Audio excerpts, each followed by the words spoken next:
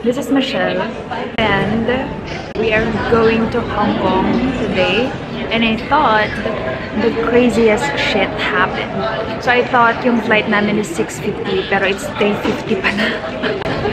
and we realized that almost 1 p.m. na. So what we did, hindi na siya naligo. Tapos nagmadali siyang mag-prepare. Ayan, so we are eating kasi hindi pa kami kumakain.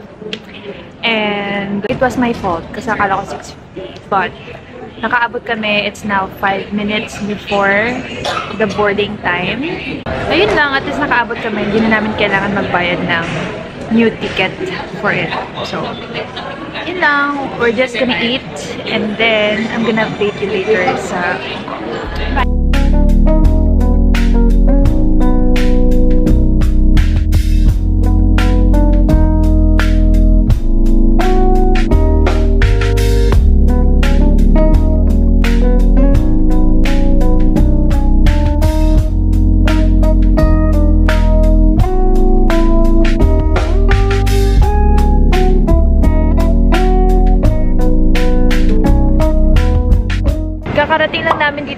airport. We just got our luggage as well. Nakaupo ako ngayon kasi si Jem naghahanap siya ng eSIM. And I'm just taking care of our luggages. Uh, we are going to use eSIM. Although naka-roaming ako, it's just that it's more reliable and convenient. After nito, kaya ako naka-shades kahit na 6.30 na kasi pagod na pagod na yung mata ko. Mukha siyang pagod kasi wala din akong makeup. Naka-skin tint ako. Wala akong lipstick at all kasi nagmadali nga kami kanina. So, after the eSIM, we need to travel for like one more hour para pumunta sa Airbnb kasi medyo malayo yung airport dun sa mismong city kung saan kami mag stay And we will be taking the bus. So, I'm gonna be putting all the expenses here and kung magkano yung mga binayaran namin.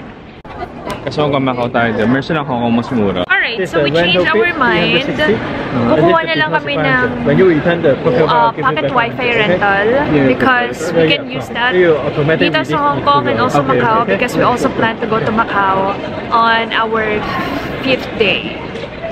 Yeah, it's $60 Hong Kong dollars per day for 6 days. It's around unlimited data na siya, so it's around 27 pesos, which is not bad.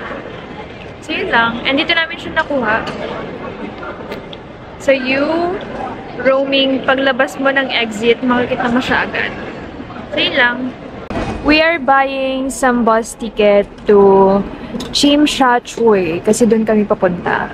Andun yung hotel or Airbnb and it's it's 34.5 Hong Kong dollars. Guys, we just got our tickets and the bus is finally here. It's my dream to ride yung bus na may second floor. It's finally happening.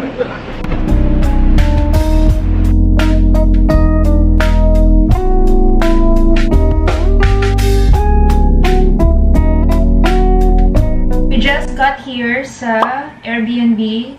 Now we are preparing para bumaba to eat dinner and also buy some essentials like face wash, shampoo, and toothpaste. Let's go!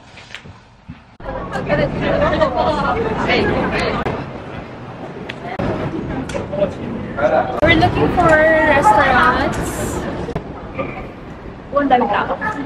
Alright, so that's the sign. Kapag maraming tao, ibig sabihin masarap. So, let's...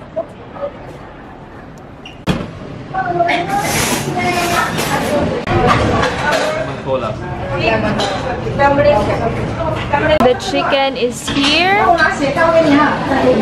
And fish ball, that's my chicken. That's pork. Lemon cola. And then this is mine. That's my lemon iced tea. This is fried fish. Obviously. Na merong mga vegetable.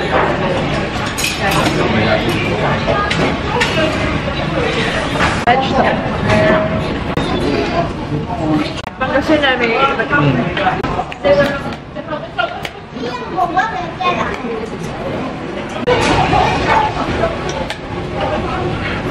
parang na-ano na natin. More Cantonese. Pero meron na silang Mandarin, pero more Cantonese. Guys, sobrang daming magagandang skincare brands. Like ito, Neutrogena. Tapos The Ordinary, andito lang siya over the counter. We just got here sa Airbnb. And galing kaming Sasa to buy some stuff. And I just want to show you what we bought. First one is the... Hindi ko alam kung anong brand. Nakalimutan ko na. But my bill is 226.1 Hong Kong dollars. That's around 1.6. Anyway, this is shampoo. Obviously, I think this is around 4 4,000 no 400. Wait, hindi siya nag focus. So cotton. We have Listerine. Um, this is toothpaste from Sunstar. I also got face wash from Neutrogena. So, eyelash curler kasi nakalimutan ko yung akin. And uh, this is my first time trying it, Lucas Papaw, for lip treatment. Hmm. May bottle. Lip, lip treatment. Ang dami kong gustong bilhin, pero pinipigilan ko lang. Yun lang. Bye-bye. After this, I'm just gonna work for a couple of minutes and then rest. Yeah. Mga 30 minutes. Tapos, bukas gigising ng maaga to work again. And then, whole day, I, whole day travel or whole day tour. So, I'm gonna update you kung saan tayo pupunta bukas. Bye-bye!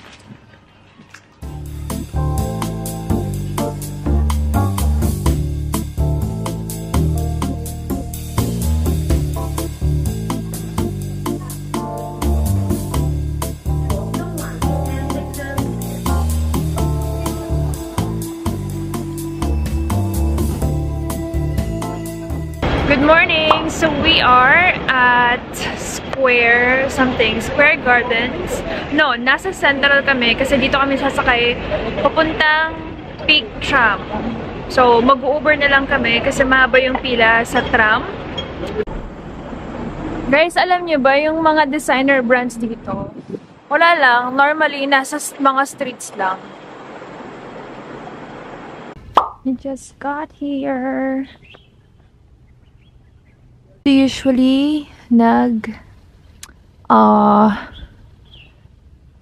nag-hike yung mga gustong mag-hike.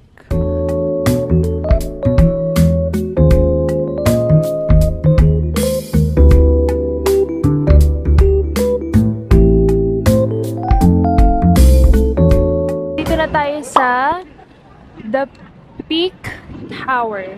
But first agenda, yung kasama ko is kaka kakain muna kasi gutom na yan. Before kami pumunta ng peak, okay na yung tickets namin. What we're gonna do is eat first. Kakain muna siya. Andito kami sa Burger King. So, currently nag-order siya. And then, after that, buti na lang hindi mainit. Okay, sa mismong building kung nasaan yung peak, merong mga restaurants. So, it's very convenient. Guys, this is the view. Look at that.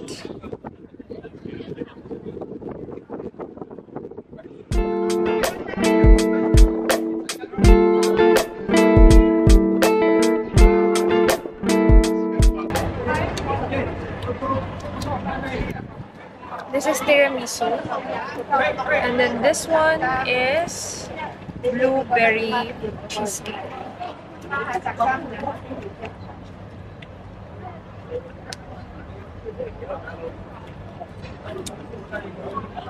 And then ito naman is taro.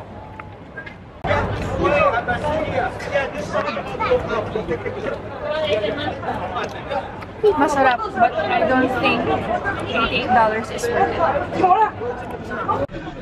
Guys, we are riding the tram.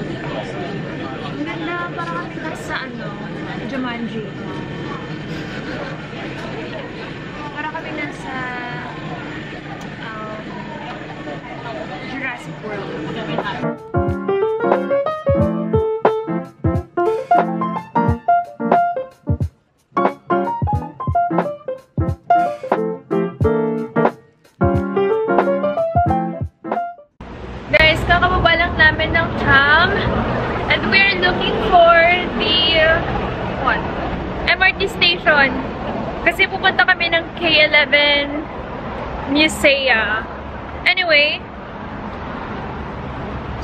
Daming stations dito.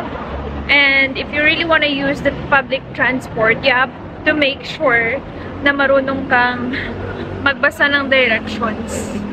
And hindi ikaw yung laging nawawala. Because it's gonna be harder for you. And kung mag-isa ka lang, tapos you don't know how to read the directions, good luck. um, kung ganon, dapat marunong kang magtanong sa mga tao like, hey, where's the MRT station? Or this, this is station? Kasi nung nasa Korea ako, ganun ginawa ko eh. Hindi ako nawala kailangan mo lang gamitin yung bunganga mo. Buti na lang, I don't, I don't need to use that. I don't need to do that because I don't even need to use my brain anymore. Because someone is doing it for me. Guys, ito yung park na lalakaran mo pupunta sa MRT station. Guys, lobat yung Digicam. So, umuwi muna kami para mag-charge. Kasi malapit lang naman. And then we will go to K11 Musea to get some coffee. And i-visit ko yung Castify. Kasi may Castify pala doon na store. And gusto ko nang palitan yung case ng phone. So, guys, we're here and we found Sephora. Tapos, ito yung una ko nakita. Rare Beauty. So, guys, Tarte is also here. They also have Fenty here. And Makeup Forever. Alam ko may magandang brand or magandang product yung Makeup Forever. Guys, dyan tayo pupunta sa K11 Musea.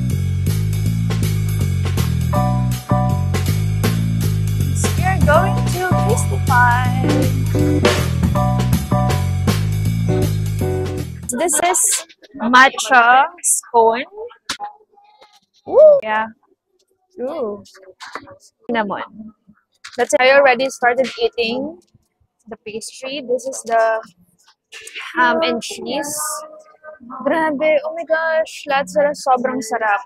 Paid around 186 Hong dollars. That's around 1 3 pesos for 5 pastry. This one is the matcha matcha scone.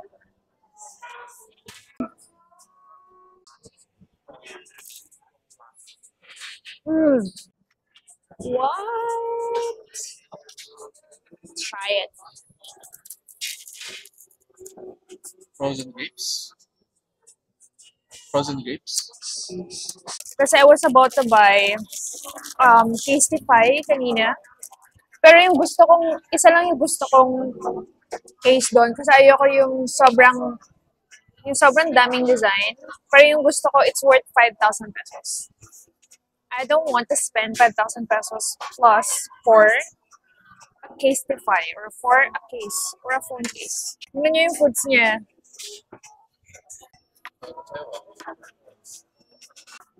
This is my lunch. Para siyang egg na may chicken. Tapos this one is a refresher. Hindi pala siya egg. It's potato mash. Mashed potato. Guys, we are at Victoria Harbor. So, nag-book ako sa Klook nung Victoria Harbor Yacht Experience. And yung schedule namin is 6.30. It's now uh, magsi-6 na. So we're just waiting for the yacht. I think ito siya. Anyway, Ayan, I'm so excited kasi yung lights later. Maganda. I think ito.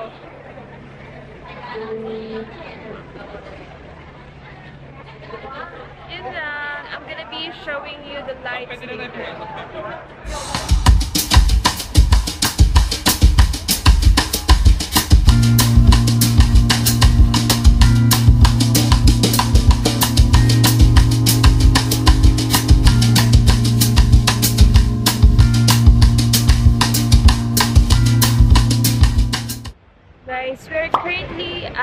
At Mongkok sa Sneaker Street. Kasi gusto kong bumili ng bagong shoes. Kasi ang sakat-sakat ng paa ko. Anyway, it's overwhelming. Ang daming brands! Wow! Let me show you. So this one is called... I don't know. Pero maganda yung shoes nila. Ayan, Converse, New Balance, Adidas, Timberland. Sobrang daming Adidas. Cool. So cool.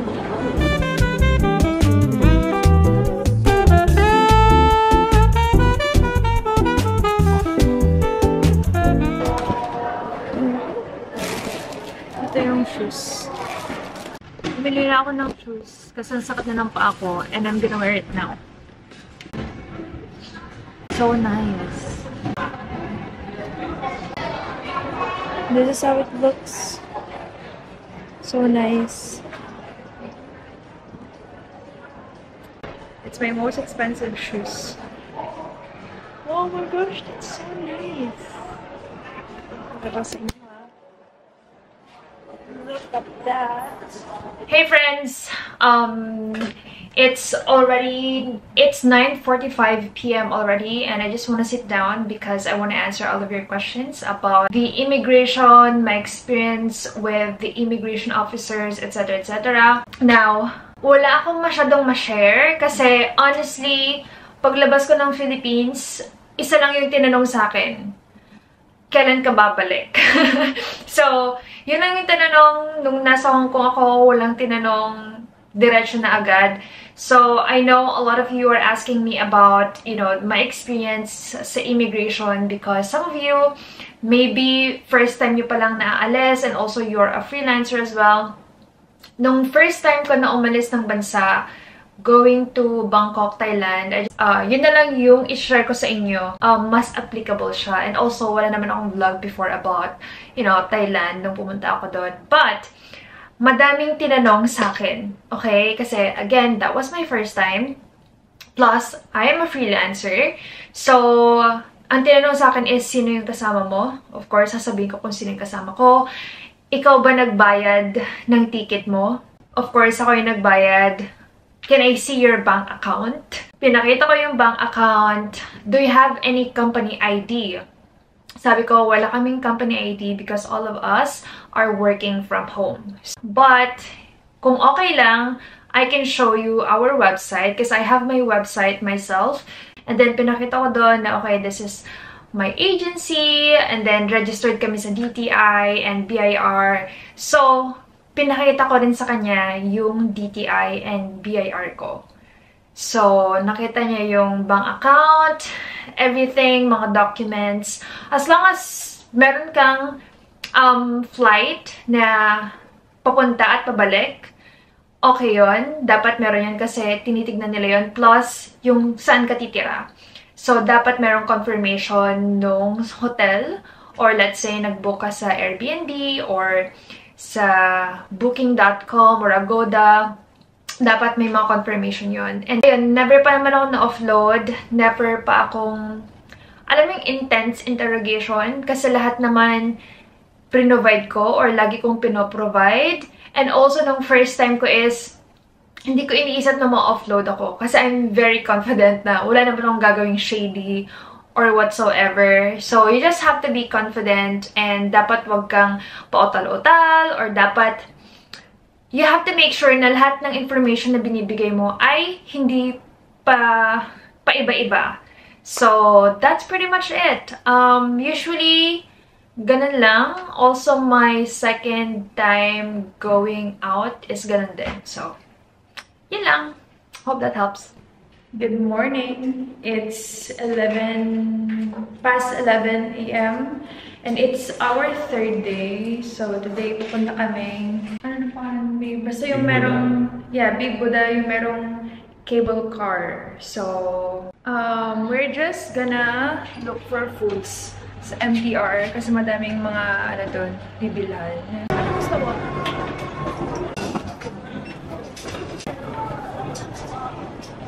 Can I pay using We can also pay using the octopus. Tang tongchong ah. Multiple two adults and then let's put the money. Hingi tayo ng tubig. The card. Okay, andyan na yung card.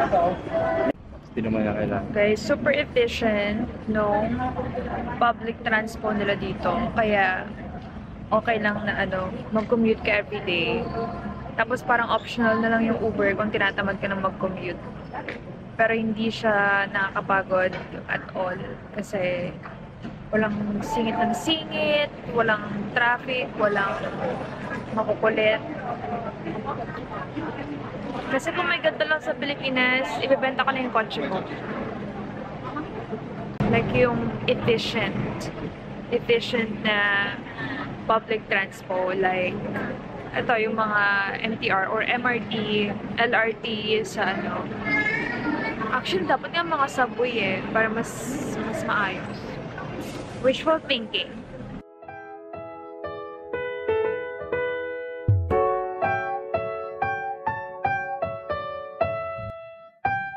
Guys, first order of business. We're gonna eat first because gutom na ako. Kanina pa ako nagugutom. Ang daming Ito yung mga outlet store nila. outlet stores.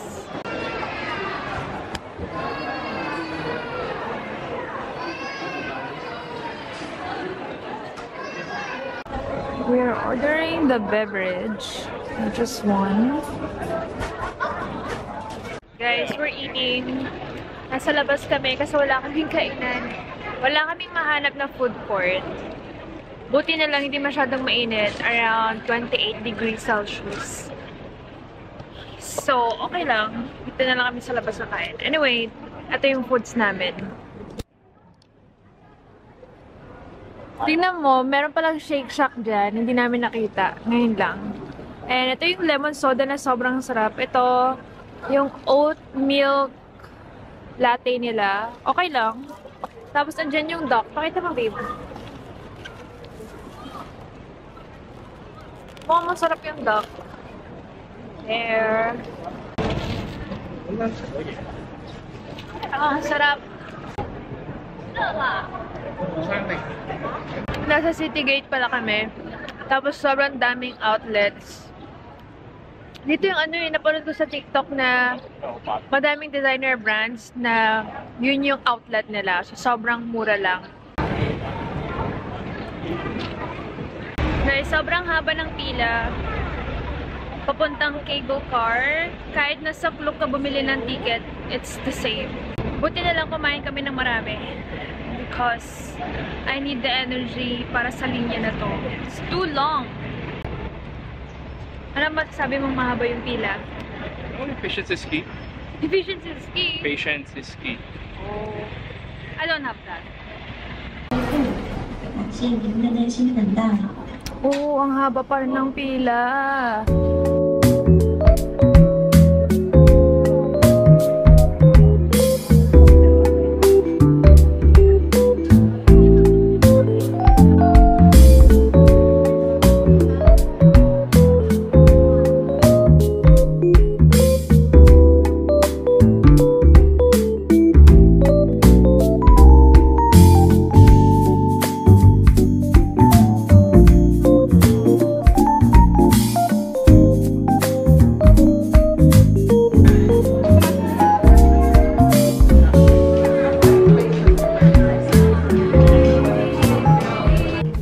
We're experiencing the Motion 360. take up your other Hi. One chocolate egg tart. Chocolate And then- Yeah, and then one venti strawberry acai with lemon. Kasi Indian British. Taki. Guys, pauwi na kami. I mean, pabalik na ng Chim Sha Tsui dun sa Airbnb. Tapos, we'll look for an available, yeah, yung magandang ka- coffee shop later. Para mag-edit ako ng videos and just chill. Para meron kaming energy bukas for Disneyland. Guys, papasok ulit tayong City Gate kasi maghanap lang tayo ng kung anong pwedeng bilhin. Sa Bath and Body Works kami to see some scent. And also, we're looking for yung refresher ng, ng house. Yung ito. Oh! So, and also checking some scent kung meron silang mga bago. Hmm. Inaamoy ko yung vampire blood. I think bago nila yun. It's sweet. It's fruity. Usually, magkano na to? Basta mahal to. Pero ngayon, nasa 180 pesos na lang siya. 24 US dollars. No, 24 24 Hong Kong dollars. So, I'm gonna splurge. Kasi, may mga ganito na ako, hindi ko siya nagagamit kasi ubos na. Hindi, okay lang yun. I'm gonna get... Hmm, oh my gosh. A thousand wishes. This is my favorite scent. Kukuha ko. Siya pa nauna. yeah, ilalagay niya yun sa kondo niya. Anyway, we're just gonna shop and then I'm gonna show you later kung ano yung binili namin. Yan yung mga ano, scent na ginagamit namin usually. These are everything we got. Bumili ako ng mini hand gel. Ayan. Tapos, ito mga air freshener. Tapos, ito naman, air freshener pa rin. So, for the room. Guys, nasa Coach um, outlet ako. And I'm trying to look for this bag. Sobrang ganda niya. It's 1485. I'm just checking. Is it okay if I take a video? Yeah, sure. Thank you. So this is originally 6,000 Hong Kong dollars. Now it's just 1485. Oh my gosh, it's so pretty. Okay. But, ano kayo yung malalaman nito? Okay, so, I found another one. Ay, paano ba to? Alright, so, I found another one. Um, we got this bag right here. 15,000 na lang siya, guys. Can you believe that? Pero nakuha ko na yung isa kasi, so I'm thinking if I will be getting two. And then, this is the other one.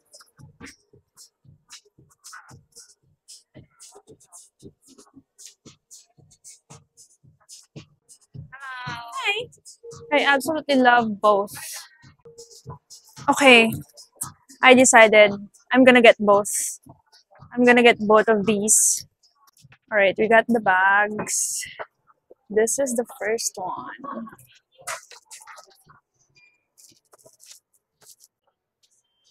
Okay, just checking it. This is so nice. Guys, we got the bags. Like literal bags. Kailangan na namin umuwi para hindi na ako bumili ng kung ano-ano. Ito na yung last na bibilin ko, babe. ah. Ito na yung last na bibilin ko. Promise, this is the last product or item that I'm going to buy. Ito, dito kami kakain ng dinner. Hindi na kami magko-coffee shop. Guys, nasa Mawiki kami and uh, sobrang punong-puno yung restaurant. I think it's either it's because it's weekend plus masarap yung food. So, again, kung puno yung restaurant, ibig sabihin masarap. So, we're gonna wait. Actually, pang number 13 kami. Pero, tinawag na yung number 10. So, malapit-lapit na rin kami. I'm so excited. Meron tayong beef, diced beef with potato. We have chicken, Thai chicken. Chicken with Thai herbs. We have fried rice. Ano daw yung best seller nilang fried rice? We have braised duck. No. Braised pigeon. Thank you. Yeah. And then we have yung lamb hot pot. There's a lot of foods. Kain lang kami ng dinner. And then after nito, edit ko na yung videos. And then that's it. See you tomorrow sa Disneyland because it's gonna be a long day. So, kailangan namin na. Wala lang, bye-bye.